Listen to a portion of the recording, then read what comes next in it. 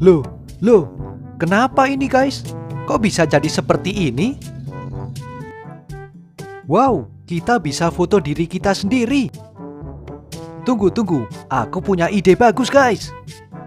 Kita cari tempat yang bagus dulu ya. Wah, kira-kira di sini bagus nih. Oke, mantep dah kita bagikan di umpan.